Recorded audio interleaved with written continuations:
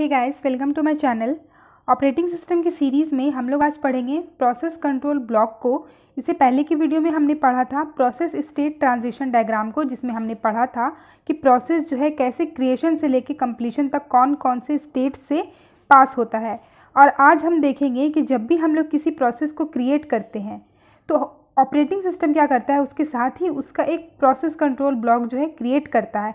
तो उस process control block में कौन कौन से एट्रीब्यूट्स डैट मीन्स इन्फॉर्मेशन होते हैं related to that process so guys video को आगे बढ़ाने से पहले आप लोग से एक रिक्वेस्ट है कि आप लोगों ने मेरे चैनल को अगर सब्सक्राइब नहीं किया तो चैनल को सब्सक्राइब कर दे और वीडियो को लाइक कर दें। तो सबसे पहला है कि प्रोसेस कंट्रोल ब्लॉक तो प्रोसेस कंट्रोल ब्लॉक क्या होता है? प्रोसेस कंट्रोल ब्लॉक है एक डेटा स्ट्रक्चर जिसमें हमारा प्रोसेस से रिलेटेड जो कुछ भी इंफॉर्मेशन है, वो सारे स्टोर होते हैं। Means process control block is a data structure that contains information of the process okay तो हम लोग का जो यहाँ का टॉपिक है प्रोसेस कंट्रोल ब्लॉक में, कि प्रोसेस कंट्रोल ब्लॉक में प्रोसेस से रिलेटेड कौन कौन से इंफॉर्मेशंस होते हैं। मीन्स हमारी प्रोसेस आईडी होती है प्रोसेस स्टेट होता है प्रोग्राम काउंटर होता है, उसकी प्रायोरिटी होती है, ये सारी इन्फॉर्मेशन जो है प्रोसेस कंट्रोल ब्लॉक में स्टोर होते हैं। तो इन सबको पढ़ने से पहले हम लोग जो है कुछ हाईलाइट्स को देख लेते हैं प्रोसेस कंट्रोल ब्लॉक का। तो गाइज़ ये जो है हमारा प्रोसेस स्टेट डायग्राम इसको हम लोगों ने अपनी पिछली वीडियो में डिस्कस कर लिया था। आज हम लोग इसे समझेंगे कि प्रोसेस स्टेट डायग्राम की मदद से जो है हम लोग समझेंगे पीसीबी को। तो पीसीबी क्या है? जब भी हमारा प्रोसेस क्रिएट होता है तो ऑपरेटिंग सिस्टम क्या करता है? उससे रिलेटेड एक पीसीबी को क्रिएट कर देता है। ओके दैट मीन्स हमारा जितना भी प्रोसेस क्रिएट होगा, अगर हमारे पास सौ प्रोसेस है, जो सौ प्रोसेस क्रिएट हो रहे हैं तो सौ पीसीबी जो है ऑपरेटिंग सिस्टम क्रिएट करेगा। अच्छा पीसीबी को तो ऑपरेटिंग सिस्टम क्रिएट करता है, किसी के अगर मन में ये क्वेश्चन आ रहा है कि प्रोसेस को कौन क्रिएट कर रहा है तो प्रोसेस जो क्रिएट होता है गाइज़ वो सिस्टम कॉल्स के थ्रू क्रिएट होता है, जैसे कि हमारा फॉक्स सिस्टम कॉल हो गया। Fox system call system calls को हम लोग आगे डिस्कस करेंगे, अभी इतना समझ लीजिए कि प्रोसेस जो है वो सिस्टम कॉल्स के थ्रू क्रिएट होता है। जैसे हमारा फॉक्स सिस्टम कॉल होगा जहाँ जहाँ पे एक चाइल्ड प्रोसेस होती है और एक पेरेंट प्रोसेस होती है, इस तरीके से ये वर्क करता है। तो सपोज़ हमारा पी वन प्रोसेस के लिए ऑपरेटिंग सिस्टम ने क्या किया? उसका पी सी पीसीबी क्रिएट कर दिया। तो उसके बाद जो यहाँ पर से जो हम लोग पिछली वीडियो में डिस्कस कर चुके हैं कि किस तरीके से जो है सारे स्टेट्स में वो पास होता है वो प्रोसेस जिस तरीके से भी उसको होना है एग्जीक्यूट उसके बाद यहाँ लास्ट लास्ट में क्या होता है, वो प्रोसेस जो है टर्मिनेट होता है। तो प्रोसेस तो टर्मिनेट हो गया, लेकिन पीसीबी का क्या होगा? तो गाइज़ यहाँ पे जब भी एक प्रोसेस टर्मिनेट होता है when process terminate it removes all the queues मतलब all the allocation resource to that particular process are deallocated तो यहाँ पे क्या होगा डी एलोकेशन होगी।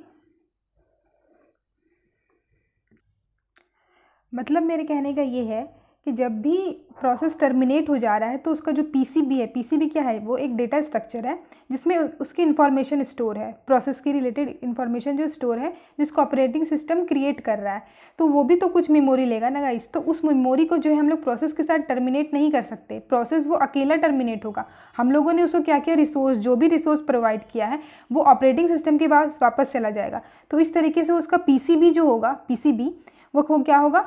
ऑपरेटिंग सिस्टम के पास वापस चला जाएगा और ऑपरेटिंग सिस्टम क्या करेगा? जो फिर से जो नया प्रोसेस होगा, उसके अंदर जो भी मतलब जो पहले की प्रोसेस थी पीसीबी के अंदर जो भी इंफॉर्मेशन था, उसको खाली कर देगा और फिर वो जो नया प्रोसेस आएगा, उसको ऑपरेटिंग सिस्टम दे देगा। तो इस तरीके से यहाँ पे काम होता है। अभी हम लोग देख लेते हैं कि पीसीबी के अंदर कौन कौन से इंफॉर्मेशन होती है प्रोसेस से रिलेटेड ओके गाइज़ तो ये है हमारा process control block that means PCB और इसके अंदर जो भी हमारे इन्फॉर्मेशंस है, जैसे कि हमारा प्रोसेस आईडी हो गया प्रोसेस स्टेट्स इन सबको हम लोग बोलते हैं attributes of a process so attributes are used by operating system to create the process control block and this is also called context of process so इसको हम लोग कॉन्टेक्स्ट ऑफ़ प्रोसेस भी बोलते हैं और एक और इंपॉर्टेंट चीज़ कि अगर आप लोग को एग्ज़ाम में बोला जाए प्रोसेस कंट्रोल ब्लॉक को एक्सप्लेन करने के लिए तो भी हम लोग इसी को एक्सप्लेन करना है और अगर बोला जाए कि एक्सप्लेन एट्रीब्यूट्स ऑफ़ प्रोसेस तो भी इसी को एक्सप्लेन करना है, क्योंकि ये प्रोसेस आईडी प्रोसेस स्टेट्स इन सबको बोलते हैं attributes attributes of a process तो सबसे पहले है प्रोसेस आईडी प्रोसेस आईडी क्या है? जब भी प्रोसेस कुछ क्रिएट हो रहा है तो उसके साथ ही जो है ऑपरेटिंग सिस्टम उसको एक यूनिक आइडेंटिटी देता है, जिसकी वजह से उसकी आइडेंटिफिकेशन होती है। हम लोग तो अपनी सिंप्लिसिटी के लिए पी वन पी टू मान लेते हैं। P one P two process हो गया। लेकिन operating system P one P two तो नहीं मानेगा। ऑपरेटिंग सिस्टम क्या करेगा? उसको एक आईडी दे देगा और उससे वो आइडेंटिफाई करेगा कि हाँ ये वाला, ये पर्टिकुलर प्रोसेस है। नेक्स्ट है प्रोसेस स्टेट्स तो प्रोसेस स्टेट्स क्या है? मैं अभी हम लोग जैसे पढ़े थे, हम लोग फिर से एक बार देखते हैं। तो प्रोसेस स्टेट्स को ये हमने समझा था।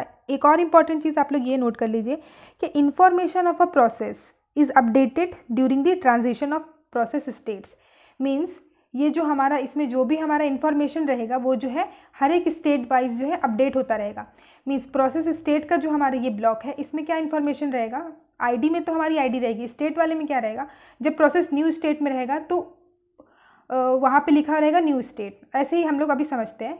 और फिर उसके बाद अगर जब प्रोसेस चला जाएगा रेडी स्टेट में तो वो जो इन्फॉर्मेशन थी, जो यहाँ प्रोसेस स्टेट में लिखा हुआ था न्यू स्टेट वो अपडेट हो जाएगा। अपडेट होकर लिखा जाएगा रेडी स्टेट फिर सपोज़ मान लीजिए कि हमारा जो है प्रोसेस जो है वेटिंग स्टेट में चला जाएगा।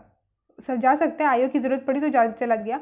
तो यहाँ पे क्या होगा, फिर से जो है अपडेट होगा और उसके बाद फिर से प्रोसेस स्टेट में क्या लिखा जाएगा वेटिंग एंड ब्लॉक स्टेट तो प्रोसेस स्टेट्स में जो है, जो प्रोसेस जिस स्टेट में है, वो अपडेट होता रहता है।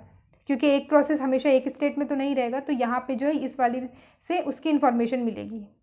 ओके तीसरा है हमारा प्रोग्राम काउंटर तो प्रोग्राम काउंटर क्या है ना, ये एक पॉइंटर है।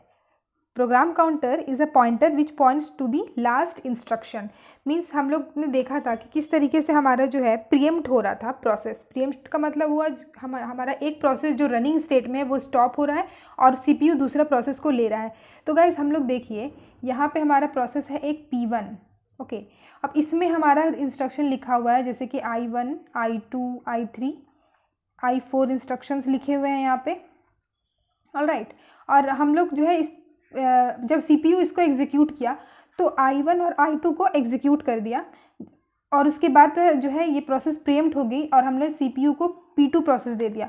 कोई भी रीज़न हो सकता है प्रायोरिटी हो सकती है टाइम क्वांटम भी हो सकता है। और इस पी टू में भी लिखा हुआ है instruction I one I two I three और आई फोर ओके तो हम लोग क्या किया? पी वन पहले सी पी यू इसके पास गया, उसके बाद इन दोनों इंस्ट्रक्शन को एग्जीक्यूट किया और यहाँ पे आई थ्री पे जाने के बजाय जो क्या हुआ, ये इसके I one I two I three को एग्जीक्यूट कर दिया।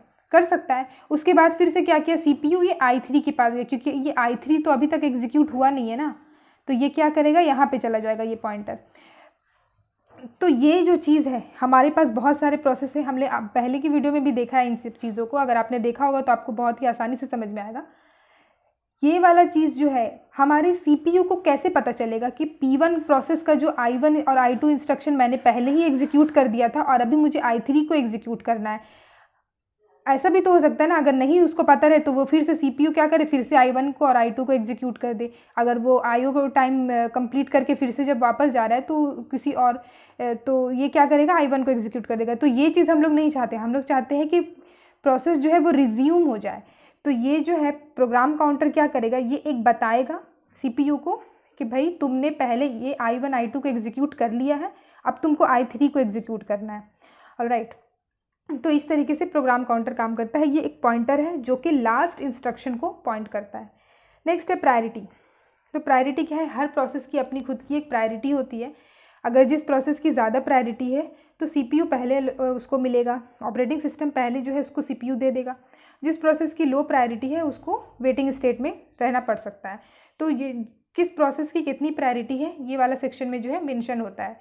नेक्स्ट है जनरल पर्पस रजिस्टर्स तो जनरल पर्पस रजिस्टर्स मीन्स क्या होता है? General purpose registers are use to hold the data which is generated during the execution of the program मतलब क्या है ना ये भी यहीं पे सेम ही चीज़ है यहाँ पर इंस्ट्रक्शन वाली चीज़ जैसे कि हमारा सपोज़ रजिस्टर्स है आर वन तो आर वन की वैल्यू सपोज़ फाइव है फिर आर आर टू की वैल्यू सिक्स है ओके फिर से हमारा कुछ कोडिंग हुआ और उसके बाद आर वन की वैल्यू जो है चेंज हो गई और सिक्स हो गई ओके स्वाइप आउट का अगर हमारा कोडिंग है तो आर वन की वैल्यू सिक्स हो गई आर टू की वैल्यू हो गई फाइव तो अब तो वैल्यू तो चेंज हो गया ओके okay, तो यहाँ पे क्या हुआ हमने स्वैपिंग का अगर प्रोग्राम लिखा है तो इसी तरीके से कुछ होगा। ठीक है? तो पहला वाला जो है रजिस्टर्स में उस, उसकी वैल्यू थी फाइव और आर टू की सिक्स थी। उसके बाद वैल्यू चेंज हो गई। कुछ और भी हो सकती है ऐसा ज़रूरी नहीं कि स्वैप आउट ही है कुछ भी चेंज होगा वैल्यू तो जो भी हमारा वैल्यू चेंज होगा ये आर थ्री आर फोर भी हो सकता है। तो वैल्यू चेंज होगा या फिर नहीं भी होगा अगर वैल्यू उसमें स्टोर भी है तो भी सारा ये वैल्यू जो है रजिस्टर्स में स्टोर रहेगी क्योंकि कोई भी प्रोसेस जो है एग्जीक्यूशन के लिए उसको रजिस्टर्स की ज़रूरत पड़ेगी ही। तो ये जो वैल्यू है सपोज़ अगर हमने सम कराया दो चीज़ का तो हम लोग लिखते हैं आई आई प्लस प्लस हम लोग अपने कोडिंग में यूज़ करते हैं। तो ये आई प्लस प्लस का मतलब भी क्या हुआ कि आई की वैल्यू को इंक्रीमेंट किया जा रहा है।